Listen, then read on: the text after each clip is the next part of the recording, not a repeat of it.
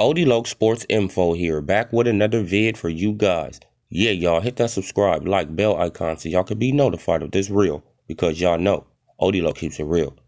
Yeah, y'all, so I was looking at an interview with Dillian Whyte on Fight Hub TV. And if you guys want to check out the full interview, go to Fight Hub TV because I'm only going to play, you know, about 55 seconds of, you know, of what I want you guys to hear. And Dillian Whyte, he knocks out Alexander Povetkin in four rounds, right? A vicious knockout, right? So he gets his revenge.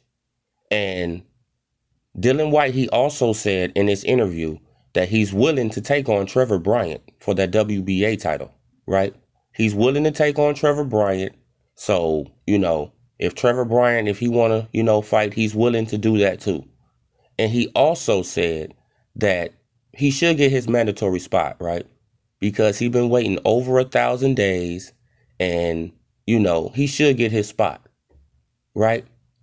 But the most important thing that Dillian Whyte said, right? Because I've been saying this, is that Deontay Wilder doesn't look like he's coming back to boxing, right? Now other boxers are saying this, right? People who are in the profession with Deontay Wilder are looking, you know, they looking at his Instagram, they looking at his Twitter, and they like, this guy is not in the gym yet. This guy is not training. He's not doing nothing yet. He's not showing his fans that he, right, that he even interested in boxing anymore. Right after his first loss, he go to guns, right? He's shooting sniper rifles, right?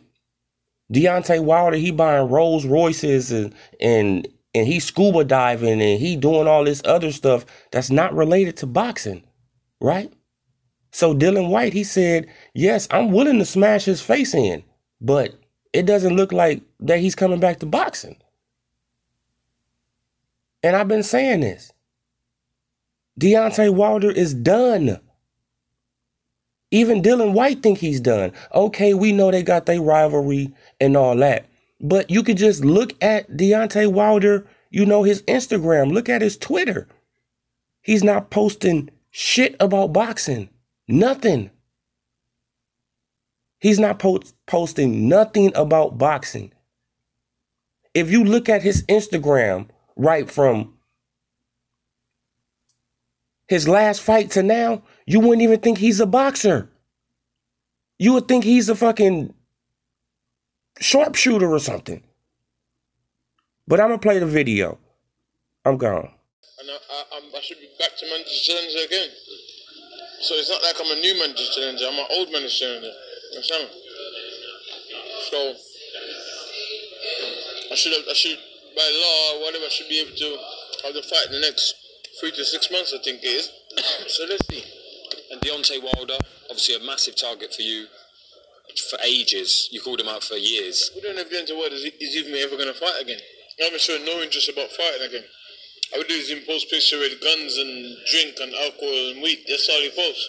I him turking and shaking his ass on, on TV. He wants to know boxing, anything of him training, or even talking about boxing. Have you seen anything of him talking about boxing? May never fight again. So is he off the, is, is he off the radar?